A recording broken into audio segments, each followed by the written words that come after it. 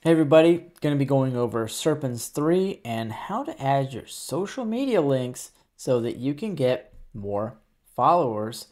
You can sell your product or just get the likes or just give information, documentation on it and make it really easy for everybody. And this is just one way. I know my camera's over here, but looking this way.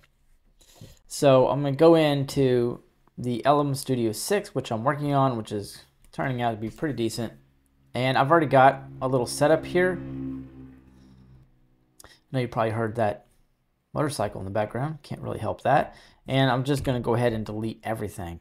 And I don't want it to be intrusive, so I'm going to put the icons down at the bottom. But before I do any of that, I want to jump over here into icons. So you type in YouTube icon, grab something that's going to look good in the display. And so I'll just click this one, view file. I want a PNG. And so I'll save as, and it is a PNG. I've already got TikTok there.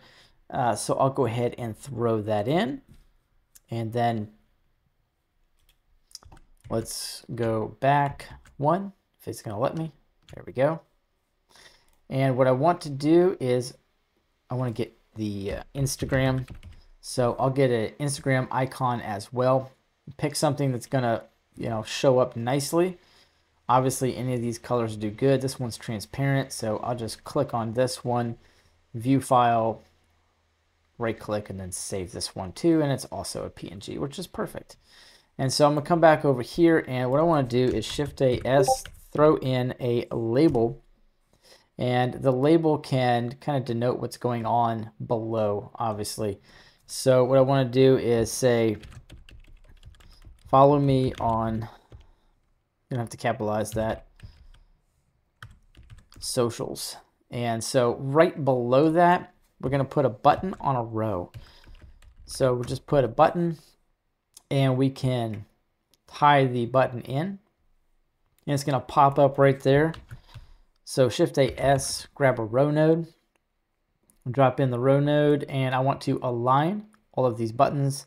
Then I can just minimize this one because I don't really need it open. I'm not going to be using it again. And I'm going to start just chaining these together.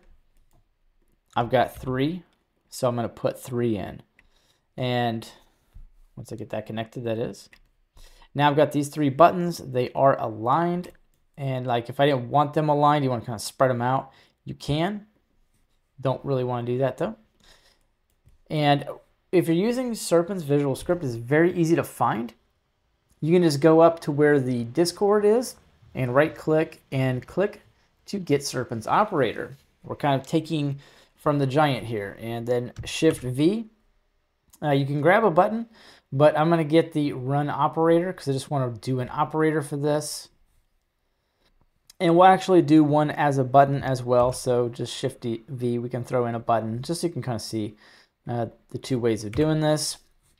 And so now I've got the button operator here, and I could copy that into all of them, but not everybody works the same. So I'll put an operator together here, and I'll just go ahead and connect that, and it's really easy. I'm just going to be grabbing the URL, and so I've already got um, a URL right here for, oops, that's not what I wanted. Let me go back over to my TikTok page. And let me see here. I want to grab a link. I want to copy that link. Then I can come back over, Control V, hit enter, paste that bad boy in. And I'll go ahead and save this because anytime you get ahead, you just want to go ahead and make sure you save. All right, that looks good. And now Shift A S, I'm gonna get icon.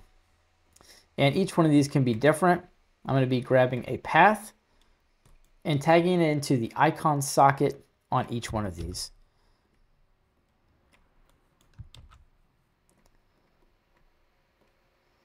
And for the first one, I can literally just back this out. I don't need any uh, text data in there. I'm going to go into the desktop icons and you can click right here to get the PNGs to show up as icons here as well. And I'll just do TikTok first, and TikTok is going to show up. which is nice.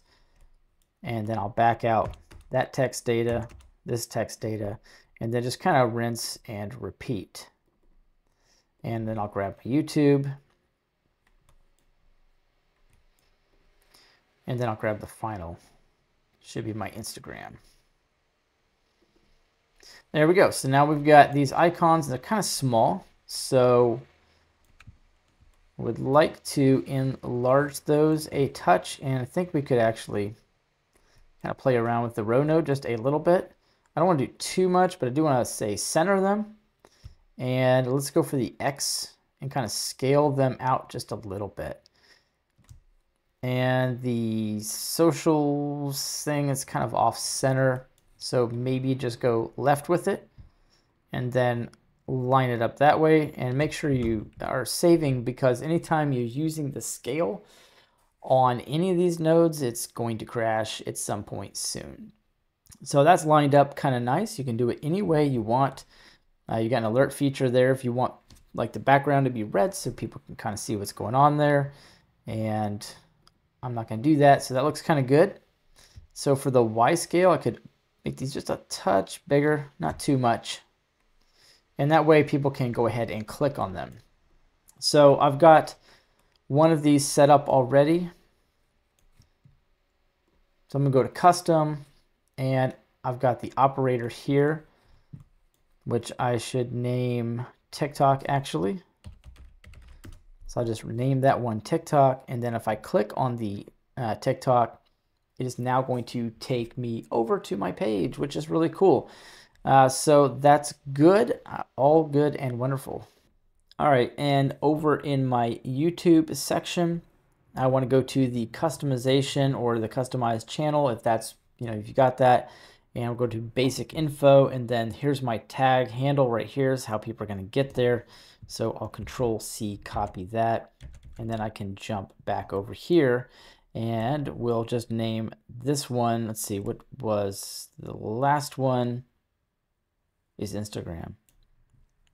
So I'll need another one of these to be the operator setup. And I can just shift D that. It'll be TikTok02, but I'm gonna change that to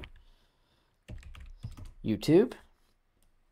And then I can come over here and I'll go ahead and grab that as a custom, grab YouTube, and then I'll come down here and let's back all that out and boom. So if I click now, it's going to show YouTube as the operator and I don't know why, but sometimes the tooltips crashes things and makes it really buggy, but I'm going to put one in anyways.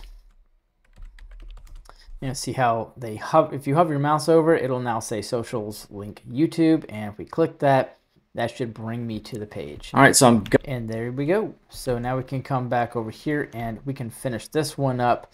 And if I have a link for, say, my Instagram, I can go grab that. And here is my sad little Instagram, which I have not used in a long time. Oops, didn't want that. Go back to Instagram. Let's go ahead and copy that one in.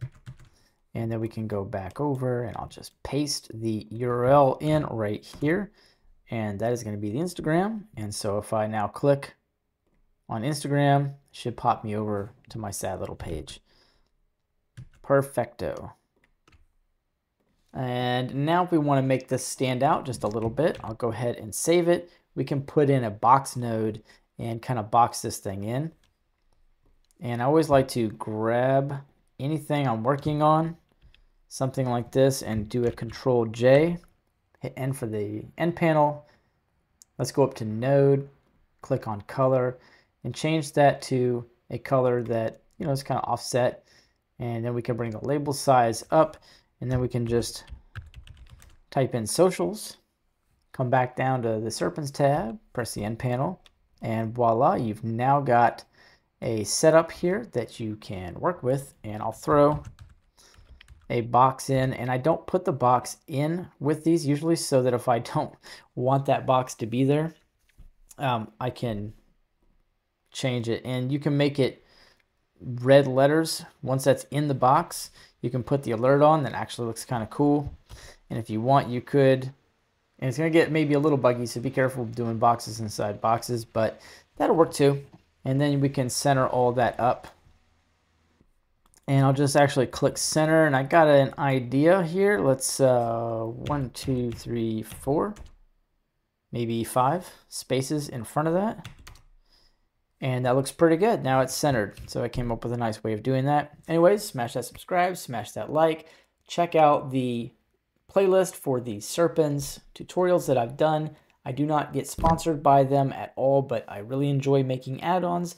Go check out my links in the description below because I am working on and have already put out one iteration of version 6 for the Light Magic Studio, and it stores an entire collection with energy properties, scale properties of any object you have. It'll do the light and it will also do some of this uh, shadow soft size or the radius for the point light in the spot. So go check it out and I'll see you guys in the next one.